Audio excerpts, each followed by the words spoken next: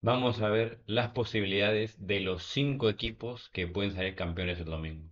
Un saludo a todos, estos Fútbol Latino tu canal de fútbol favorito. Y en el video de hoy vamos a ver las posibilidades, qué tiene que pasar para que cada uno de los cinco equipos que esperan el torneo clausura, Universitario, Melgar, Alianza Lima, Sporting Cristal y AET de Tarma, sean campeones de clausura y jueguen los playoffs de la Liga 1. En el caso de Alianza, sería campeonar directo y en el caso de la U, jugar de manera directa a la final. Melgar Cristal, después de la derrota en Cusco, y ADT buscan forzar una semifinal. De todo esto y mucho más hablamos en el vídeo de hoy. No te olvides suscribirte y activar la campanita.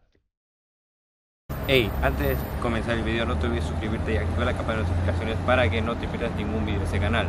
En este canal puedes encontrar contenido variado como fútbol europeo y fútbol sudamericano, con mención especial a Sporting Cristal y a la selección peruana. Así que, obviamente, si a alguno de tus amigos les gusta el fútbol en general, no dudes en compartir este canal. Y así mucho más que decir, comencemos con el video.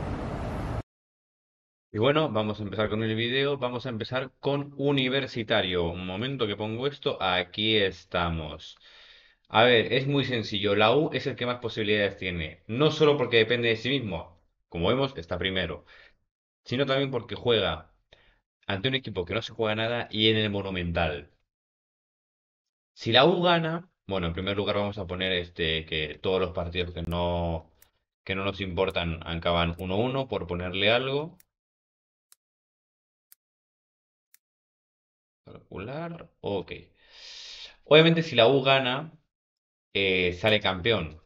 Eso eh, no hay que, no está sujeto a ningún tipo de duda. O sea, eh, es obvio. Si la U empata, le pondría con 37, tiene que esperar a que Melgar no gane en Juliaca. Si la U empata y Melgar gana, eh, Melgar sale campeón y jugaría semifinal contra la misma U o contra Cristal. Es que lo de la U y Cristal es un tema aparte en cuanto a lo que puede ser el clausura y el acumulado. Pero si Melgar, bueno, estamos hablando de clausura. Si Melgar gana y la U empata, Melgar sale campeón. Entonces, vamos a poner un 0-1 aquí. Calcular y aquí vemos como efectivamente Melgar saldría campeón y Alianza, Cristal y ADT no tendrían ningún tipo de posibilidad.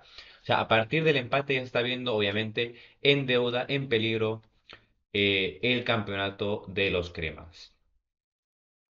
Vamos a ver una derrota, una posible derrota. Vamos a ver. Ok, obviamente si, si la U pierde... Uy, esto se me ha ido. Bueno, si la U pierde haría 36. A ver, claro, si la U pierde quedaría con 36, mejor dicho. Eh, Melgar... Ah, aquí estamos, estamos, estamos. Si la U pierde y Melgar empata, por ejemplo, no lo pasa. Pero también depende de por cuántos goles pierda la U. O sea, desde ya digo que para mí, para mí, y no es por mufarlo ni nada, la U va a campeonar porque va a ganar el partido contra Huancayo. Sin más. Si, si Melgar quiere ganar el clausura por esa vía, es decir, empatando en Juliaca y que la U pierda contra Huancayo, tiene que ver si, si, la, Huancayo le gana por la máxima diferencia de goles posible. Tipo, yo que sé, con dos de diferencia ya le sirve al equipo de, de Mariano Soso. Bueno, vamos a ver Melgar.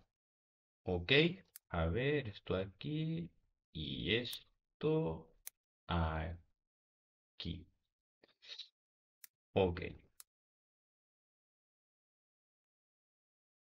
Obviamente para ganar el clausura, Melgar tiene que ganar. Y a ver, la victoria de la U no le sirve, el empate sí,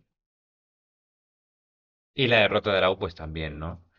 Melgar solo depende de la U, en este caso, para forzar una semifinal directa, sea contra la U o sea contra Cristal. Eso lo explicaré más adelante. Es increíble que con todas las pechadas que tenemos encima aún podamos salir campeones. Es impresionante. La verdad, gente estoy bastante, bastante enojado con, con lo que ha ido pasando con Cristal este último mes, porque, o estos últimos dos meses, porque había una para por la selección. Eh, con el fútbol en general, o sea, es una cosa de locos. Cristal ha decepcionado, la ha pechado terrible, Perú no patea al arco, es, es de locos. Melgar gana y la U empata. Obviamente, si la U pierde, pues tam- también saldría campeón el, el equipo de Arequipa. Vamos con el tercero. Vamos con... eh, voy a recargar la página porque no sé qué le pasa a esta huevada. Ok, no me jodas, puta madre. Espera.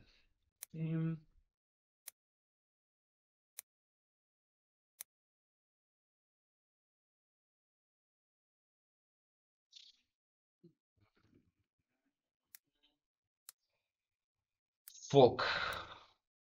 ¿Qué chucha le pasa a esto? Ah, bueno, sí, claro. Eh, bueno, Alianza para salir campeón directo, porque Alianza no ya está en la final de manera directa por ahora. Si gana el clausura, pues saldría campeón directo porque ganó la apertura. Alianza le sirve, es sencillo, no le sirve el empate, solo es ganar. Tiene que ganar, vamos a ponerlo acá, tiene que ganar y que la U pierda con Huancayo porque el empate no le sirve porque la diferencia de goles, lo estamos viendo acá, eh, le favorece bastante al equipo crema y que Melgar eh, no gane porque le sirve tanto la derrota, en el hipotético caso, como el empate. Bueno, esas son las opciones de Alianza Lima.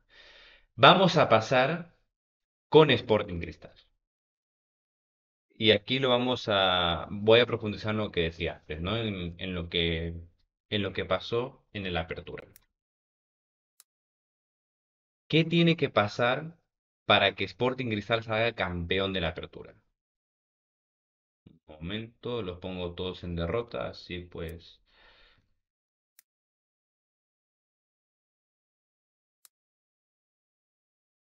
Ok. Cristal para ganar tiene que ganar eh, por tres goles mínimo. Por tres goles mínimo. Que la U pierda con Huancayo.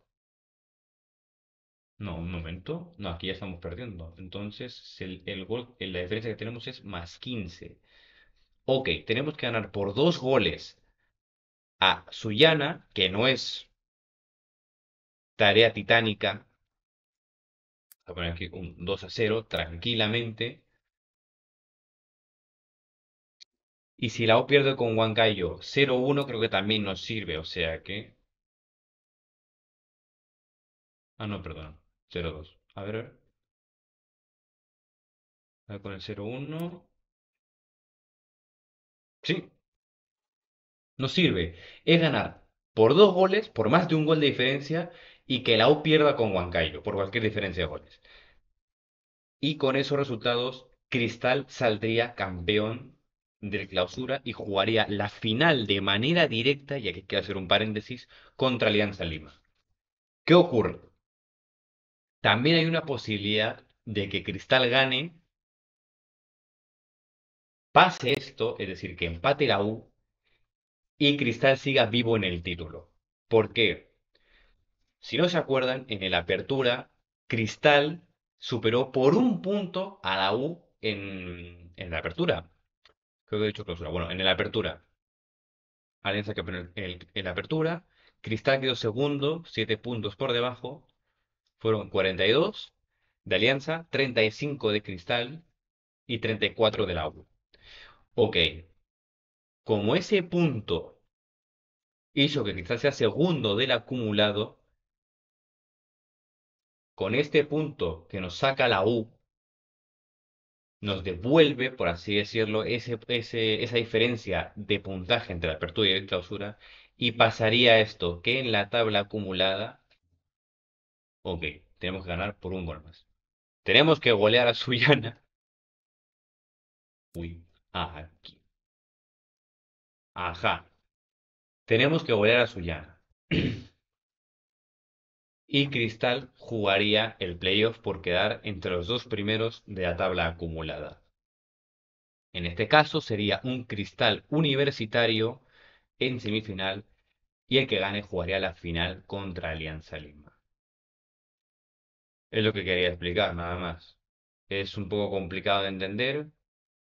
Espero que Cristal se deje de huevadas y meta todos los goles posibles a, a, a ese Atlético de Sullana. Que la ULA cae, que aunque lo veo muy complicado contra Huancayo en el Monumental, el Monumental seguramente va a estar lleno. Van a ocupar a 80.000 personas en, en ATE. Y bueno, tengo fe, tengo fe y, y espero que, que el equipo pueda conseguir el, el pasaporte a, a semifinales al menos del, del torneo, que lo veo muy complicado, la verdad.